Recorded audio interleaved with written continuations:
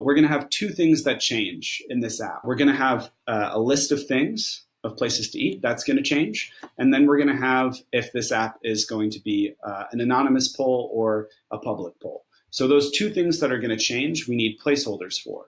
Uh, so we use variables for placeholders.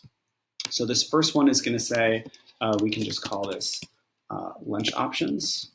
And we want to set this to be an empty list of things. So if we just go to list, we can get this empty list block. Great. And then next we need another variable, and this is going to tell you if uh, something is anonymous or not. So I'm just going to write in anonymous, uh, anonymous one, and I'm just going to set this to be nothing for now. When this app opens, um, so when screen one opens, what do we want to do? We want to set this variable of lunch options, this list of things that's going to change. We want to set that to uh, be that local DB database that we just made. So we're going to go into variables and we're going to set lunch options to be uh, the local DB get column. And then what was the name of the column? Let's just quickly go back, local DB. That was place. We have to also capitalize the P when we put this in. So I'm going to go into blocks I'm going to get this text block and I'm just going to write in place.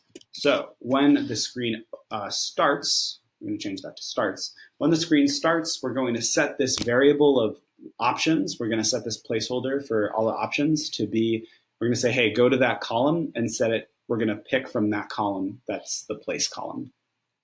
Next, uh, let's program the refresh button. Uh, to do this, uh, we're going to actually start with a function. So functions are really cool shortcuts. Um, you can program a function to do a whole bunch of things, and then rather than have to block out all of those things again and again, you just call the function once. So we're going to say to refresh.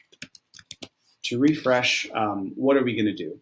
Uh, we want to set all of these different choices uh, to be a random item from this list uh, this list of different places. And every time we do a refresh, we want this to change. So I'm just going to get choice one, set uh, text two, and I'm just gonna move my face for a second. I'm just gonna copy and paste this a bunch of times. And I'm going to change this to say choice two, choice three, choice four, and choice five. Um, so what do we want to change these to? We want to get a, a random item from a list.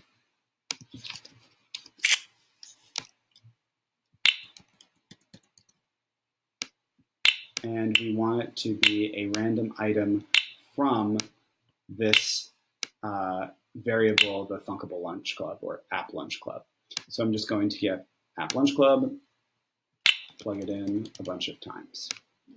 So what is this saying? It's saying when we refresh, we want to set the text of each of these options to be something from this list of restaurants that we've created. So that's how you program that. Uh, and we want to do that every time the screen starts. And rather than just copy and paste all of these, we'll just get a refresh function and plug it in. Uh, we're going to do this one more time because when the refresh button is clicked, we want to do the same thing. So when the refresh button is clicked, we want to refresh. And I can show you what that looks like so far. So I'm going to just click live test. Um, so here is the option. Uh, we have all of our options listed. When I click refresh, it's going to randomly change all of those food options to be different things.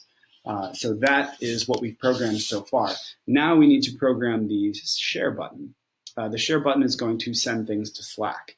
Uh, so we want to say when the, let's see, what is that button called? We gave it a name, send to Slack button. When the send to Slack button is clicked, we want to share. So we'll go to share, where is that? Share one. And we want to uh, send a message. So I'm just gonna copy and paste that over here. Great, and what is that message? So if you know Slack, uh, you know that there are very specific formats you have to use to create a poll. So I'm just going to recreate that format for Slack. So I'm going to go into text and I'm going to get this join block. I'm going to get rid of these. And we're going to need a whole bunch of openings for all of these different options. So I'm just going to start dragging in different things to different things to send to Slack. Okay, that should be enough. Great. So when you create a poll on Slack, you have to use this really specific format, which is uh, slash poll, and then space, quote, and then you have to name the poll. So I'll just call this lunch options. And uh, then you need to list all of the different lunch options that um, are from this list. Uh, the way you do that is you have to use quotes. So I'm just going to copy and paste this and delete it. And now we have this blank text. I'm just going to copy and paste a bunch of them. We can use them for later. This first one, uh, you need a quote before and after each option. So I'm just going to put a quote, and then I'm going to go get the text from choice one. And then we need to put a quote after. And we're going to need another one for the next option. So again, this looks a little confusing. If you're familiar with Slack and you're familiar with making polls, you're like, I know exactly what this is. For those of you who don't have Slack, uh, this is just basically a way to format your different choices. They need to be in quotes. So I'm just going to copy and paste this one, and I'm going to set, let's see,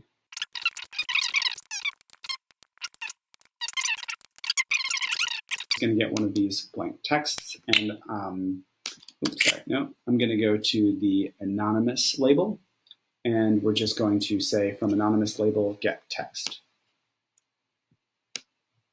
Plug that in, All right, and now we can delete these. So uh, again, this was very specific to how formatting is on Slack. Um, doesn't have to, to do this if you're not sending your thing to Slack. Maybe you're just sending it to uh, a text message or an email, and then you wouldn't have to put in all of these quotes. You can just put in a list of lunch choices.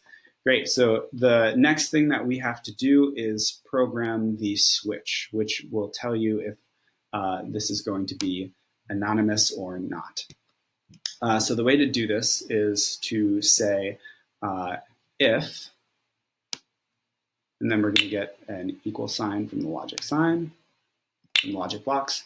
If your new value, and that just means if you've pushed the switch, and I'll show you what that looks like. This is the switch. That's a new value. And that's the original value. So if your new value is true, which means if you've touched the switch, we are going to set the text from the anonymous label to be anonymous anonymous. Um, else, now if you don't touch that label, or if you don't touch that switch, we are going to set the text to be blank. So what does this do? Um, just going to show you real quick. If we click the switch, notice how it says anonymous under it. And if you click that and you click send to Slack, um, you will see that the word anonymous appears at the very end. So this is again just very specific formatting for Slack. That is the entire app. So you just created a random lunch poll generator that can be shared with your coworkers or your friends who are on Slack. That is how you create this app. If you have any questions, please put them in the comments section below. We look forward to seeing what you build. And as always, thanks for thunking.